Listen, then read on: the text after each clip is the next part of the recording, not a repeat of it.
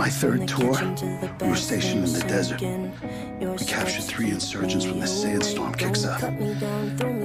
Zero visibility. Then we start taking fire, we're getting lit up. Suddenly I'm alone. I come across one of our prisoners.